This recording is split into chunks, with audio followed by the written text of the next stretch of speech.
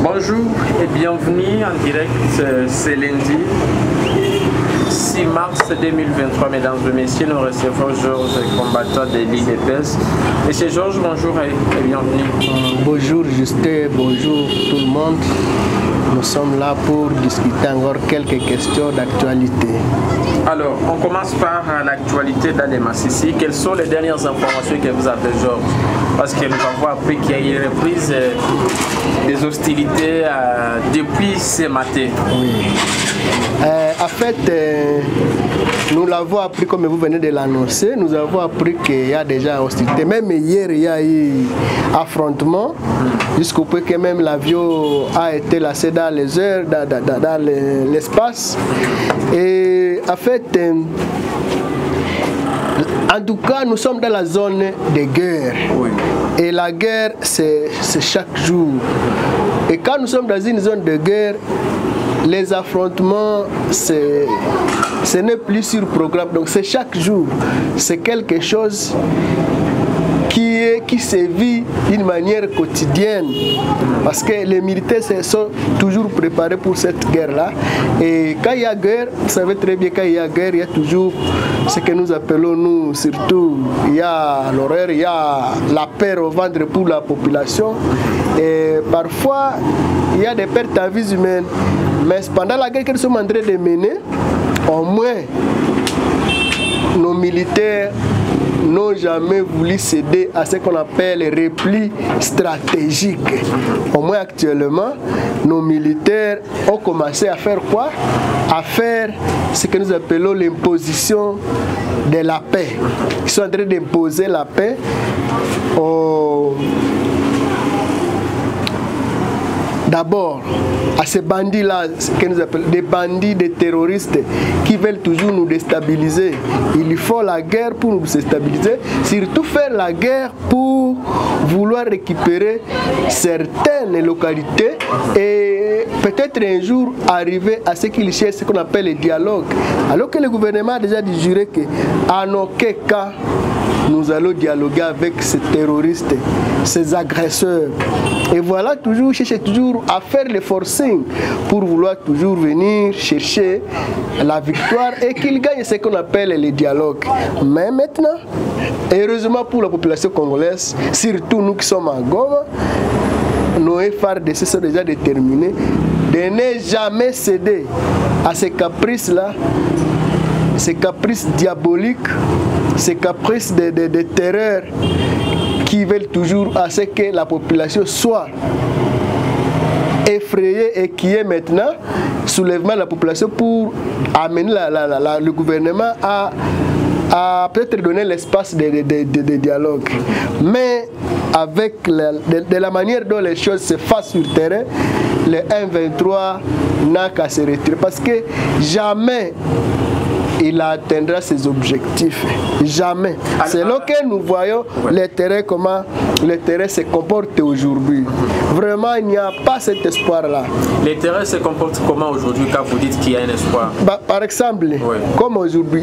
Hier, ils ont voulu déborder. Vous savez d'abord, la ville de Goma, pour ceux qui ne connaissent pas la ville de Goma, la ville de Goma est presque entourée par l'espace des parcs. Donc il y a un espace vert qui couvre la ville de Goma. Donc, de l'est, disons, disons, surtout la partie nord, sud et tout l'ouest de la ville de Goma, c'est le parc national de Virunga. Toute la partie orientale, donc toute la partie est, toute la partie orientale, c'est le Rwanda et le lac Kivu. C'est-à-dire, il y a le lac et il y a une portion pour le Rwanda. Et toute cette partie-là, c'est, nous disons tout simplement, c'est le Rwanda parce que nous avons une partie des eaux du lac qui appartiennent à la RDC, une autre partie qui appartient au Rwanda. C'est-à-dire, il y a la frontière rwandaise à l'est, à l'ouest comme au nord, il y a le parc. Et il n'y a que seulement les sorties, les routes comme la route vers Sake. vous traversez le parc pour arriver à, Saké. Alors, les bandits, quand ils trouvent plus, ils n'ont plus été capables de frapper sur les, lignes de route, sur la route, ils viennent par le parc de Virunga, surtout vers l'ouest du, du, du, volcan de Niragongo. Et c'est de là qu'ils sont encore venus hier pour vouloir toujours tenter de comment faire une inguisson à Goma. Malheureusement, malheureusement pour eux, ils ont été encore saccagés et aujourd'hui ce ne sont que des cadavres au parc. Mais et voilà pourquoi moi j'ai dit... Des cadavres du côté ennemi ou bien côté... Du côté de l'ennemi. Si l'ennemi n'était pas, n'était pas peut-être anéanti, neutralisé, il serait déjà sur la ville, non? Est-ce que c'est parmi les objectifs au moins? Les objectifs, c'est quoi? Il suffit qu'ils parviennent à donner des bandades dans le FRDC, ils vont parvenir peut-être à prendre la route SAC et vouloir alors asphyxier la ville. Malheureusement, ils n'ont jamais été capables de le faire. Mais, mais, mais comment comprendre cette reprise des hostilités euh, à quelques heures euh, euh, du, du, début de C'est là que c'est là que c'est ça même la question que l'opinion se pose. Ouais. Est-ce que ces gens ne sont-ils pas des sentants les grandes personnalités africaines, voire même occidentales, demandent à ce qu'il y ait cessé le feu et qu'il y ait retrait progressif. Mais comme eux ont un cœur satanique, un cœur pharaonique, et se croient être au-dessus même de toutes, de toutes, les idées des grandes personnalités de ce monde. Même, même, même Macron, avant-hier, il a dit, disons, les, communiqués, les parler de Luanda restent la seule piste de solution pour que la guerre à l'Est finisse. Et, peut... Et voilà maintenant. Oui. Même avec la parole de Macron qui, qui, est, qui est aussi l'aide de l'herbe parapluie occidentale, ils ne sont même pas toujours là. Nous attendons maintenant demain. Demain, c'est le 7, c'est la, la, la, la, date victoire. Oui. La date à laquelle nous allons, nous allons au but. Alors nous allons voir. Voilà aujourd'hui il faut la guerre. Je viens d'apprendre qu'à l'heure où je vous parle, à Kishiche vers Kibiri, ça ne va pas. Ouais. Il y a des hostilités. Oui, oui, oui. oui. C'est ça. Et voilà maintenant, à, à une demi, à un demi-jour de la date butoir, mais il y a toujours des hostilités. Et moi, ce que je connais les Rwandais, de ce que je connais de ces Rwandais, c'est très bien qu'ils ne vont pas, ils ne vont pas obtempérer à cet ordre mondial. Qu'est-ce qu'il faut, concrètement? Si jamais ah, il, faut, il faut une guerre. D'ailleurs, Félix l'a dit bien. Il a dit bien à Genève, la patience a des limites. C'est-à-dire, quand l'autorité parle de ça, c'est-à-dire il est en train de préparer autre chose qui se, se, se passe sur le terrain. Il y a une préparation autre que ce que nous sommes en train de voir.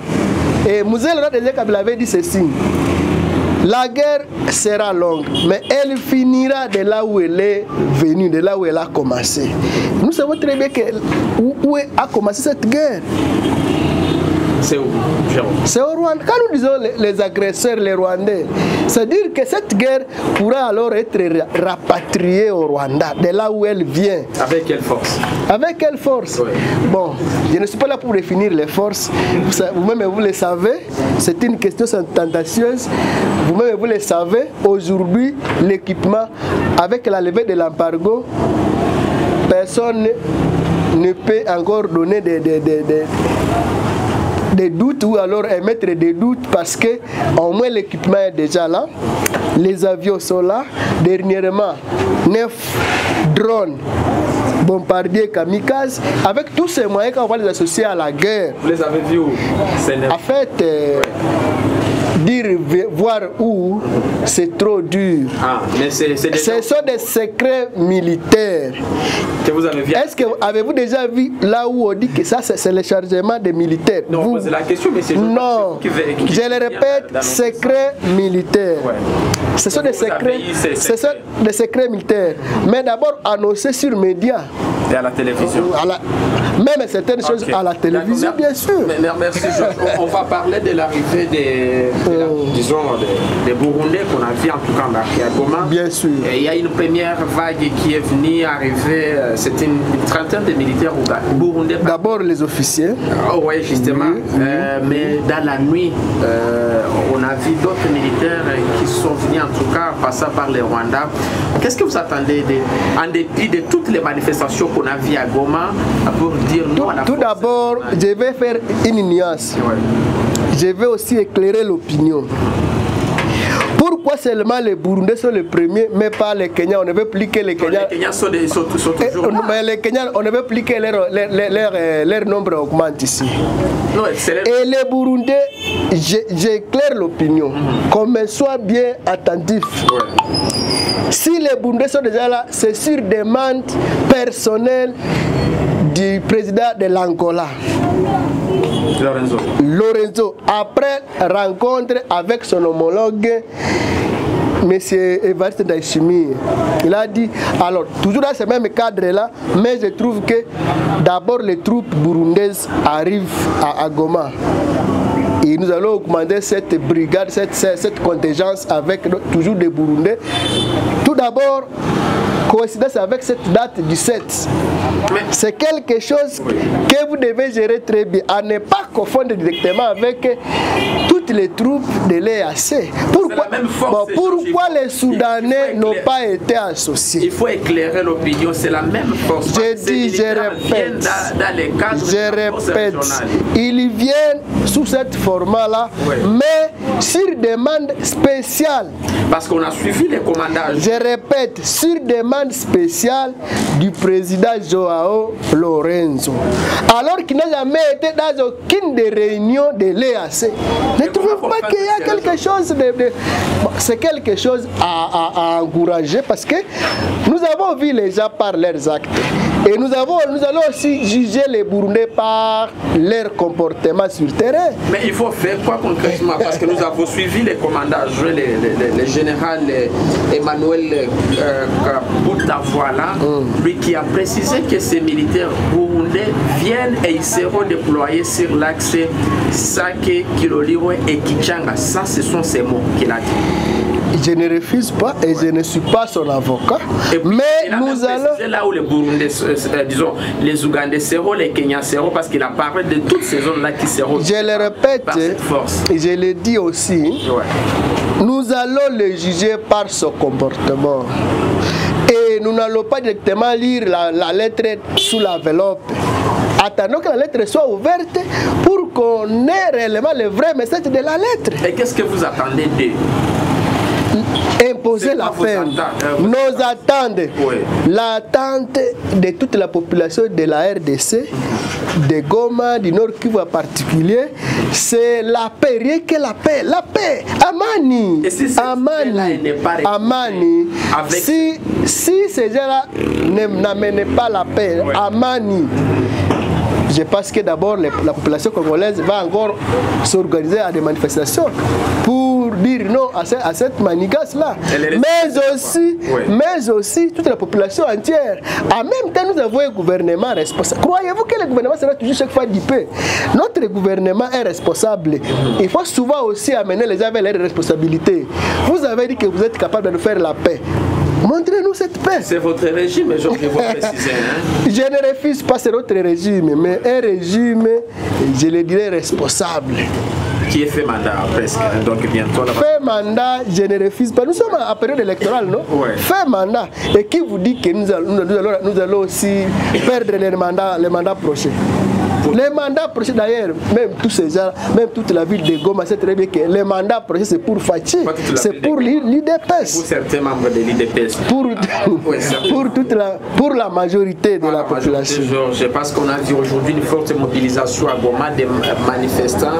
Euh, disons, des déplacés qui ont vraiment protesté contre ce qu'ils ont qualifié la, situation, disons, une situation critique, déplorable dans leur site, dans leur site où ils vivent. Comment comprendre cela, M. Georges En fait, sont partis toutes ces assistances-là qu'on a toujours. Je, nous, je, reviens là-bas. Nous sommes à Goma, une deuxième ville politique de la RDC. Ce ne sont pas toutes les actions faites sur la rue qui sont toujours des actions, des revendications réelles. Pourquoi parmi ces manifestants, on, a vu que des hommes, il n'y avait pas de femmes? C'est-à-dire que. Femmes, non. Non. Moi, j'ai couvert la il, y il y avait un petit nombre de non, femmes. Il y avait des femmes non. avec un petit nombre. Un très petit nombre. Ça, c'est ce qui s'est dit dans la. J'ai dit un très petit nombre. Deuxième élément, vous avez toujours l'habitude d'aller au centre de, de, de déplacer. Est-ce que réellement il n'y a plus à manger? Voilà pourquoi vous pose la question. Ah non C'est aussi la question que je pose aussi à, à quiconque. Est-ce que réellement dans le centre de place, il n'y a plus à manger. Moi, je, vois, je suis en train de voir les, les, les camions amener de l'eau là-bas. On, on, va amener la, l'eau. C'est pas pour le gouvernement, c'est pour les privés. non, non, il y a ceci. Il y a ceci. L'assistance, quand elle passe par les mains du gouvernement, même qu'elle elle, est venue de quelques mains que ce soit, elle est toujours autorisée par le gouvernement. Mais que fait les Voilà, je vois par exemple, je vois par exemple, je vois par exemple PAM, je vois Merci Corps, ce sont les partenaires, on parle la part du gouvernement. Le gouvernement en a donné. D'ailleurs, dernièrement, dernièrement, dernièrement, Justin, nous avons vu le, le roi d'Arabie ni Émirats unis déjà souscrire une grande part pour venir en aide à ces gens-là. D'ailleurs, même, même j'ai vu Macron dire qu'il va amener pas 47 millions. On lui a dit nous n'en avons pas besoin. On voudrait que ces 47 millions viennent, viennent rencontrer la population dans leur domicile, pas au, pas au centre de, de, de, de déplacer. Non, voilà. C'est-à-dire que le gouvernement est en train de jouer sur, sur ce point d'une manière responsable. Et laisser les manifestants, c'est vrai, on a toujours dit que vendre des graines à poids d'oreille, c'est normal. Si quelqu'un a fait une nuit sans manger, bon. Et, et, surtout que la manifestation en RDC, elle est garantie par la Constitution. Et ça, bon, pour moi, ce n'est que réel. Faire, même moi, je peux quitter ici, aller me manifester. Si je trouve qu'il y a un droit qui m'est lésé, alors ça, il n'y a pas même un débat. Alors, on va finir notre entretien par ces propos qu'a tenu ce matin le ministre Butondo Nzangi, qui a dit, je cite, les Wazalendo, les jeunes patriotes et tous ceux qui ont déjà, en tout cas, tiré une balle sont désormais reconnus par le gouvernement congolais. Ils seront mis dans les mêmes conditions que les FRDC pour défendre la patrie. Comment comprendre cela? En fait, euh, j'ai beaucoup de respect au ministre. C'est un ministre national de l'ESU, pas de la défense. Il ne peut qu'émettre ses avis, ses idées. Savez très bien que pour entrer dans l'armée, il y a une loi. Il, n'est pas, il, n'est pas, il ne doit pas engager toute, toute l'Assemblée pour dire que c'est lui qui décide à la place de l'Assemblée. Mais c'est un avis. Bon, bien un avis peut-être aussi favorable, mais qui doit respecter ce qu'on appelle la procédure légale. Merci Georges. Alors vous allez regarder ma caméra comme d'habitude et puis vous allez lancer un message aux forces armées de la RDC. Oui. En fait, FRDC, Mapinga ya Ekolo, vraiment nous, nous sommes derrière vous. Et tout ce que vous faites sur terrain, c'est à nous que vous le faites toutes vos actions militaires, surtout les actions de neutraliser l'ennemi, c'est ça notre protection. Vous êtes notre bouclier, chers militaires FRDC. Je ne cesserai jamais de vous remercier, de vous donner mon cœur à vous. Parce que ce que vous faites à nous fait de nous la vie. Si pas vous, les agresseurs vont nous agacer, vont nous couper des têtes comme ils l'ont fait à Kishiche. Sans vous, ils vont nous enterrer dans des WC vivants. Ce sont des, des renégats, des bandits, des sataniques, des pharaoniques. Et votre travail, c'est un travail mille fois louable. Un travail que personne d'autre ne peut le faire si ce n'est pas vous qui avez fait un serment Nakoa Pona Ekolo. Voilà, vous mourrez pour nous. Vraiment, mes remerciements les plus, les plus, les plus profonds de mon cœur.